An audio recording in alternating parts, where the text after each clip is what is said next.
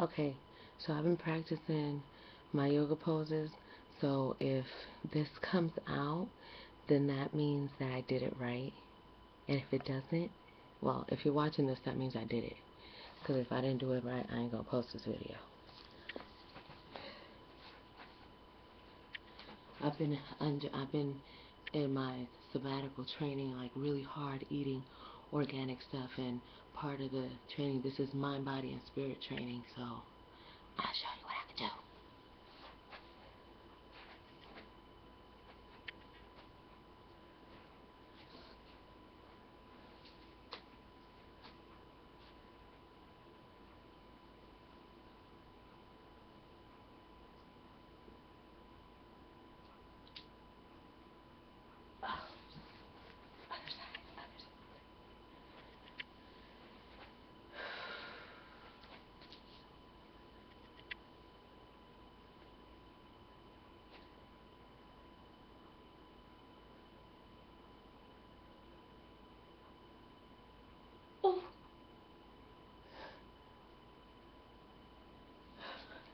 Okay, I think I did it. That's for my sensei, Tiffany Janay.